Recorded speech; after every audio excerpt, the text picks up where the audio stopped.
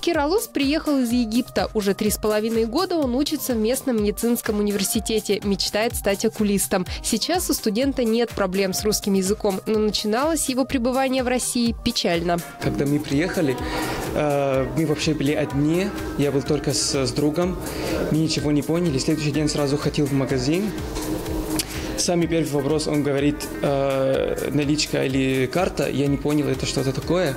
Я просто так стоял и не понимаю, потом большая очередь э, стоит э, за мной, и люди начали злиться, я ничего не понимаю, я просто ушел, я ничего не купил. И это правда, эта ситуация я не могу забывать, потому что я в этот день не ел ничего из-за этого. Сейчас у Киралуса остается лишь одна проблема – погода. Он до сих пор старается зимой поменьше находиться на улице. А вот Аджаи, она тоже будущий врач, почти адаптировалась. Когда я приехала отсюда, очень было холодно для меня, потому что там, в Нигерии, у нас вообще жарко, но здесь вообще холодно, очень тяжело. Я думаю, что погода неплохая, просто нужно одевать тепло, потеплее. Праджавал поступил в Тюменский медицинский университет в 2018 году. В первое время здесь главными проблемами для него были плохое знание языка и местных особенностей обучения. Девушка, и она мне помогала.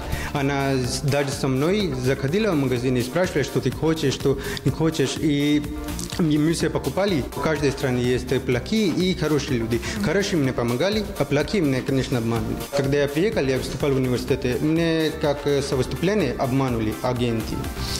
Говорили, что за каждый год надо платить миллион рублей. Наученный горьким опытом, Праджавал предложил устраивать встречи иностранных студентов. На них можно делиться опытом и оказывать необходимую помощь. Первую встречу мы планируем провести в понедельник, 29 числа в 18.00 в студенческом центре Тюменской области на Симакова, 21. И еще мы в дальнейшем планируем на эти встречи приглашать не только иностранных студентов, но и местных тюменских студентов, чтобы обмениваться как раз новостями. На встрече встречах с иностранными студентами можно будет не только общаться и помогать, но и узнавать о традициях тех стран, откуда приехали ребята, пробовать их национальные блюда и, главное, заводить новых друзей.